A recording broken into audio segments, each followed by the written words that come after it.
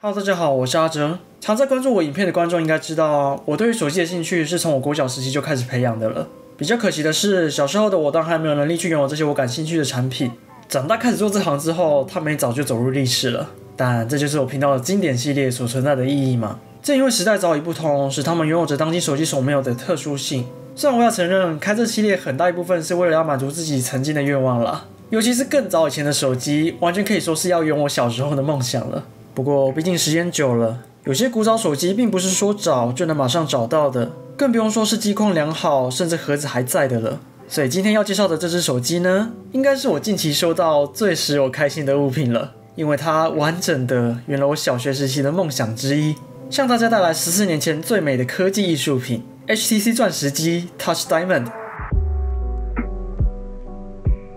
如果你问我从小到大以来哪个手机品牌对我印象最深？相信点击这部分你们也知道我的答案了。毫无疑问，就是 HTC。好几年前的 HTC 真的可以说是在智慧型手机界超越三星、必接苹果的领导者。能有这样的地位，也是因为当时的 HTC 无论软体还是外形都下足了功夫。那也成功的吸引了小时候的我，还有许多消费者的目光。各位从我之前拍的那部台湾和台湾仅剩的 HTC 专卖店影片，应该就知道了。它对我来说，绝对是意义非凡的品牌。那么它现在的局势，我想各位多少也知道了吗？这部影片我就不细提了。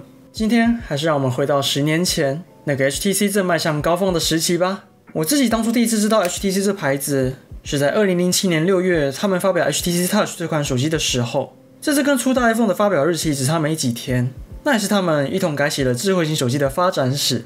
我之前有说过嘛，智慧型手机这词并不是 iPhone 出来之后才开始有的，市场上很早就有这样的产品了，只不过一来能做的事情还是蛮少。一来操作方式实在很不友善，就是很难用了。到后来虽然都有慢慢在改善，但多数消费者，尤其是年轻人，还是会选择外形更活泼、使用也更方便的功能型手机。之后初代 iPhone 就出现了，以非常简约的外形还有易用的界面登场在世界上。而 HTC Touch 呢，概念其实也跟 iPhone 差不多，都是为了要让智慧型手机更加的平易近人。以外形来看，跟 iPhone 可能还是有一段距离啦。但你要知道，那年代的智慧型手机本来都长这模样的。当时搭载的 Windows Mobile 系统，在界面外形与易用度方面也劝退了许多人。虽然 HTC Touch 依然沿用了 Windows Mobile 系统啦，但它在 UI 上下了非常多的功夫。之所以叫做 Touch，就是让你有办法直接透过手指去操作，而不像以前那样界面小到只能拿触控笔去点。总之，HTC 跟苹果一样，成功的让越来越多人换上智慧型手机。两方也在这路途上不断的精进外形与界面。就这样，到了二零零八年五月，HTC 钻石机诞生了。它是我认为 HTC 多数经典的其中之一，也是 HTC 外在兼内在的巅峰之作。那这只手机是我在 eBay 上面购买的二手货，卖家是从英国那里寄出的。这次我等了大概一个月才到吧，还要转运那些的。虽然钻石机当时台湾也有卖啦，但年代真的太久远了，不是几乎没有人在卖，就是机况不太优，或是配件不完整。那我说的这只又有多完整呢？等等你们就知道了。对，这个就是它的外盒，外面这些是跟台湾卖的不一样啦。应该是某家英国电信商的刻制版本，而且写的很详细哦，很多规格跟特色都写在上面了。没关系，这些等等我都会说给大家听。那这层其实只是它的外包装，这个才是钻石机的盒子本体。没错，其实盒子就是这个形状了。台湾卖的版本也是这样，有棱有角，还类似钢琴烤漆的黑色光滑质感。哎，注意我刚刚讲的那句话，因为这样的设计，你等等还会再看到好几遍。总之，现在该是本体出场的时候了。对，这就是当年激动许多人的外形。它的背面是由各种角度的平面不规则的组合成的，所以它并不是平整的哦，是真的有这样的形状。为什么这次叫做钻石机？就是因为它跟钻石的表面一样有棱有角。那整个背面也是钢琴烤漆的，是不是就如刚刚的盒子那样呢？虽然对，这当然就是塑胶材质了，但光线之下显现的那种不规则之美，真的让人非常的难忘。而且镜头作为正面三角形，还有另外做设计。用了个金属法式纹上去，这一圈仔细看还有切边处理，旁边这里则沿着三角形的边写上了它的镜头规格。那台湾贩卖的版本，HTC logo 会以同样的方式放在这个地方，对，不放中间，而是斜斜的沿着切角。但这还不是让我最惊艳的地方。当年除了 iPhone 之外，其他智慧型手机还是会配个触控笔嘛，而它的触控笔居然也顺着机身的切边设计做出了切角，这种细节都有顾到，你还觉得它不是个艺术品吗？这是台将近十四年前的手机啊！然而它的美还不仅仅只是如此，我们还有很多没讲到的地方啊！顺带提，机身底下的橘色 logo 就是英国电信商另外加上去的了。你在台湾买的钻石机不会有这个东西。那来看看它的正面，各位看到这层膜没有？当初寄过来的时候，它是没脱落那么多啦，是我后来有偷偷用了几下才会变这样。重点不在这里，重点是过了那么久，你手说绝对超过十年了吧？这层膜居然还是留着的，没撕掉也没脱落。我光是用个几天，它就快掉下来了。前一个使用者根本就是拿来收藏用的吧？所以来吧，现在我们就来看看它这个地方几乎全新的一面。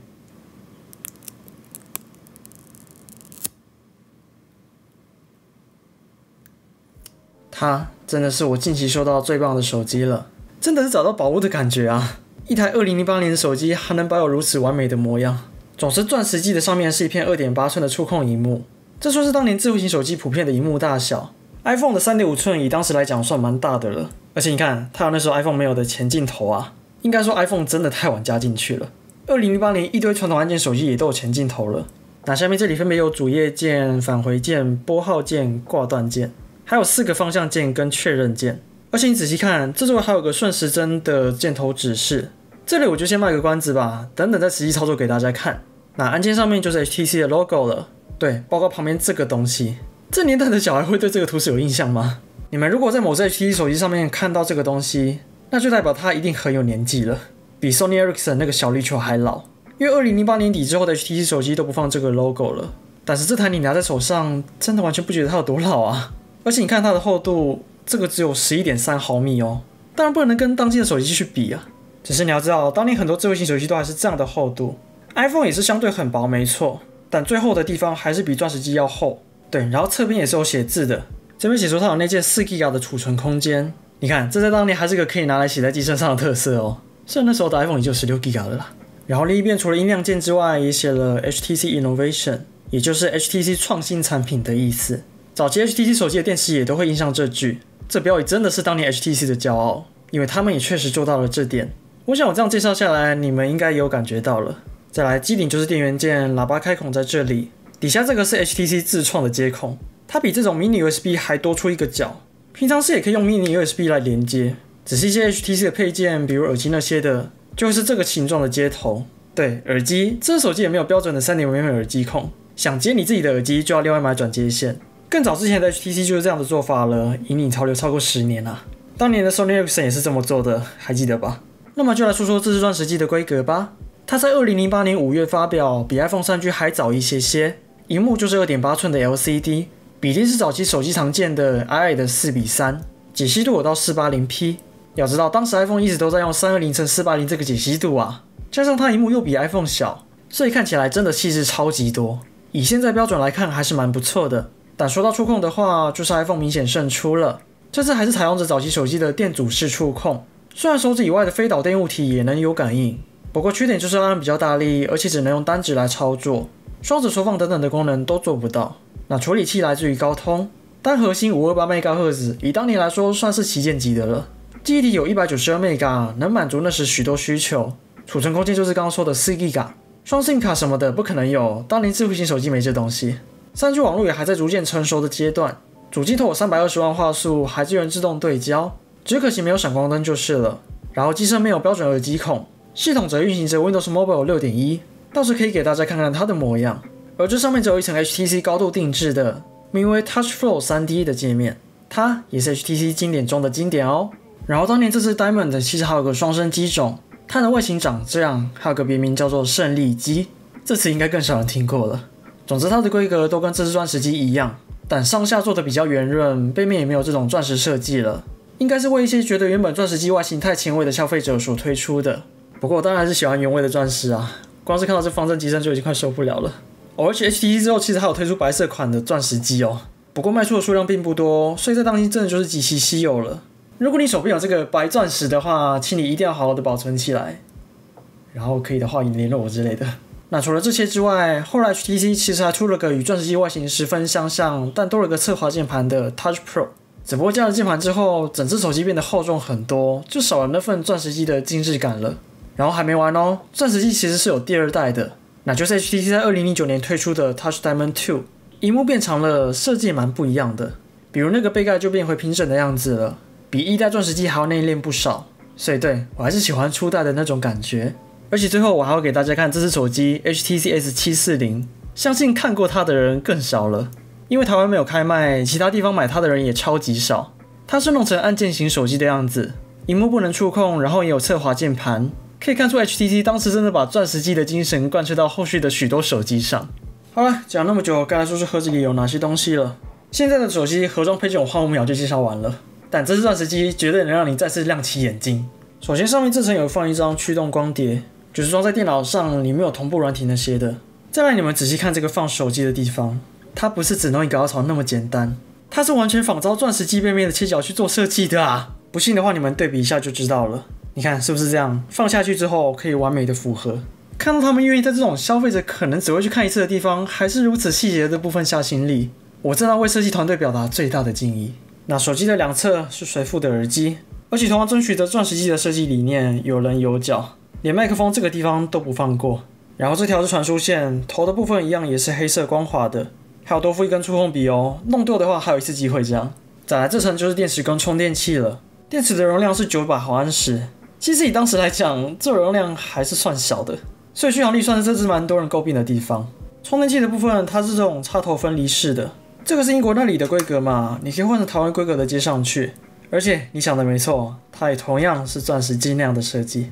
此外，你们应该也发现了，这些配件同样也都保持在一个超级新的状态。应该说根本完全没用过吧，保护膜全部都还在，太扯了。那这些我就不去试啦，让他们以最完美的姿态继续保存着。接着底下这里还有放东西哦，这个是说明书，里面有教你一些基本的操作，还有一本安全相关的说明文件，以及这个本来应该是耳机的泡棉耳塞啦，但可能接触空气太久了吧，它已经整个粉碎了。总之前面的故事终于讲完了，现在来好好探索它的内在吧。啊，令人怀念的 HTC logo 还有 Windows 开机画面。对，一开始它会要我们校正触控，早期电阻式触控荧幕都得这么做，所以我们要拿起触控笔，依照它的指示去点击，注意不要点歪。再来设定我们现在的时间，接着就要先让它 run 过这个初始安装程序了。一些 HTC 定制软体还有主题等等的，就是在这时候安装的。趁现在给大家看它的荧幕有多细致好了，这真的很可以啊，显示中文字也不成问题了。我等等拍张对比照，你们会更有感觉。跟当年的 iPhone 三 G 真的不在同一个级别上啊！我不过刚说到中文，现在这个系统是只有英文语言的，想要中文界面就得另外刷韧体。那说到刷韧体啊，钻石机因为当初也卖得很好嘛，所以网络上别人做的刷机资源也是颇多的。当然不像刷机之神 HT Two 那样壮观啦，只是升级个新版 Windows 或者界面还是可以的。而且其实还有办法透过模拟器的方式让它运行 Android 系统哦。这些就不在今天的讨论范围啦。各位有兴趣的话，我再考虑拍一部短片看看好了。那这个就是它的主画面了，这种黑白相间的色调也很符合这只手机，而且这个翻译时钟应该就很多人有印象了吧？我记得就是从钻石机开始出现的，已经成为 HTC 的标志之一了。而且它不是静态图片而已哦，到了下一分钟是真的有翻页动画的。那底下这些图示就是它的其他页面，有联络人、讯息那些的。对，点一下就可以跳过去。可是 HTC 这个界面就是要滑的才有意思啊。这时候上面就会用大图示来告诉你滑到哪个地方。这里还有相簿的页面，它会用这种堆叠的方式来表示你拍的照片，然后是可以用滑动来检视的。那现在我们点进一张照片，首先这样转过去，照片也是可以跟着转的。它好像也是 HTC 第一次具备动作感应器的手机。再来，它的荧幕不能这样双指放大嘛？但 HTC 就想到一个奇招，只要在你想放大的地方顺时针转一圈，它就会跟着放大了。然后逆时针滑就是缩小，你要点两下也是可以的。虽然对了，整个灵敏度跟及时度还是不如现在手机就是了。那除此之外还有另一个方式哦。刚刚不是说按键这里还有一圈箭头吗？这时当你在上面轻轻转动的话，对它也能达成放大缩小的功用。这在浏览网页的时候也可以使用，但说实在也不是很灵敏就是了。然后注意到了吗？我碰这里的时候按键灯会亮起来，而且是这种优雅的渐亮的方式。除此之外，你在充电的时候，这一圈灯也会有这种由下往上的呼吸灯效。你还觉得这不是艺术品吗？好了，回来讲我们的界面，旁边的音乐也是这样，上下滑就可以换专辑了。至于它的音响嘛，你本来就不能对它抱什么期待吧？那这个天气页面可能是伺服器早就没在维护的关系了，已经没办法更新天气资料了，不然它会有像这样子的天气动画。这个语它也是超级经典的，啊后来 HTC 就整个简化掉了，有够可惜。哦对，各位如果看过我先前那部 HD Two 的影片。应该就有发现，两台界面上的设计是差不多的。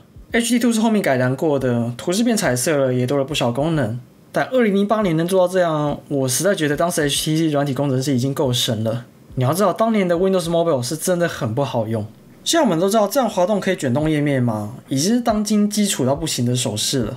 但这版的 Windows Mobile 预示还不能这样哦。你现在看到能滑是 HTC 另外写上去的。应该说这边真的很多小东西都是 HTC 加持过的，比如原本键盘超小一个，后来 HTC 就把它加大了。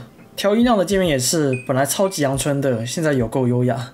还弄了这种高低音阶，而且你知道还有什么东西能衬托这只钻石机的美吗？那就是这个 HTC 经典的弹珠游戏。早期用过 HTC 的各位对这款一定不陌生，它就是在钻石机上面首度出现过的哦。那我可以很确信的说，这游戏是完全的神作。第一个，它将 HTC 手机加入的动作感应器发挥的淋漓尽致，让当时的使用者知道智慧型手机已经能做到这样了。第二个，玩法超简单直觉，而且一玩就上瘾。小时候就有同学拿这只手机，当时我一直跟他借来玩这游戏。第三个，这游戏的界面居然也跟钻石机完美的契合了，尤其后面这种有坡度的关卡，你以为只是为了增加难度吗？仔细看看这些纹路，这完全就是参照钻石机那样的背面啊！总之，我真的觉得当年只有 HTC 可以超越 HTC 了。不过它终究是十四年前的产物嘛，要拿作为当机使用已经不太可能了。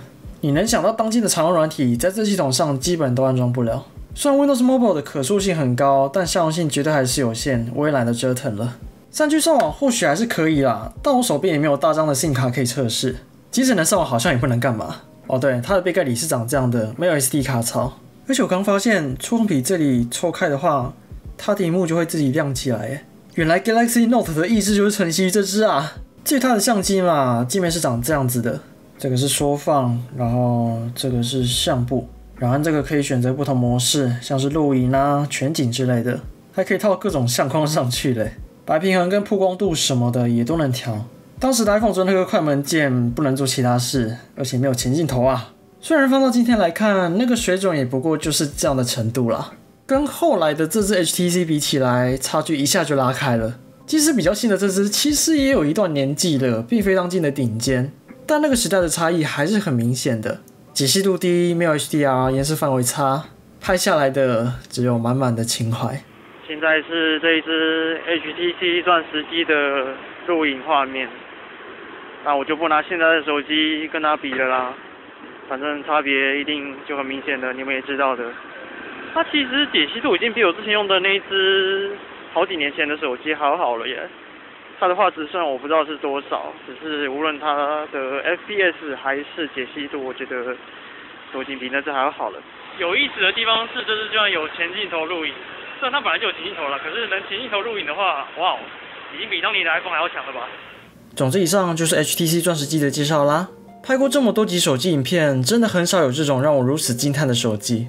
除了前一位使用者还保存的如此完整之外，也真的难以置信，一台十四年前的手机能有这样的软硬体工艺。我在得到这台手机之前，虽然对它已经有一定程度的了解，但实际上手使用时，还是不断的被许多细节所动容，很想再画个好几百字来抒发这样的感觉。不过总归一句就是谢谢 HTC 啦。那如果你跟我一样，也是个喜欢收藏手机或其他经典产品的人，除了像我这样到处寻宝之外，你也可以考虑用另一种方式来展示它，向大家介绍 Great 的展示框架。各位看到这模样，应该就能理解是怎么一回事了吧？对，这间厂商将手机各个零件拆解开来，并整齐地排列在上面，再加以设计，成为了展示品。而且这些零件皆为真材实料，不是装模作样而已。所以虽然他们有尽量挑选出外观良好的机子，但可能还是会有一点使用痕迹在。另外，电池的部分为了安全，就不会附真实的在里面了。那 Grid 目前已经有推出多款 iPhone 的展示框架，除了这之外，少数其他厂牌的手机。甚至到游戏机、Apple Watch 等等，都有这样子的形式，而且每一款旁边都有独特的文字与图片解释，有种工业草图的设计感，我超级喜欢。总之，各位有兴趣的就点击影片下方的网址，并在结账时输入我的专属折扣码来获得十趴的优惠吧。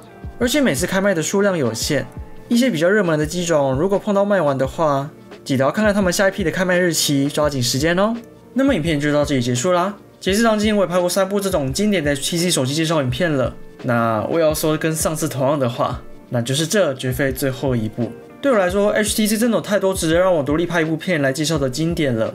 尽管大家都知道这牌子现在的处境实在没有很好，但他们曾经写下的这些辉煌历史可是不允许就这样忘掉的。或许你们可能已经不太熟悉，但没关系，之后就由我来慢慢诉说吧。所以想继续追踪下去的，不要忘了订阅我的频道。觉得这系列很有意思，想表达支持的，也可以考虑底下的喜欢与超级感谢按钮哦。谢谢大家收看，我们下次再见，拜拜。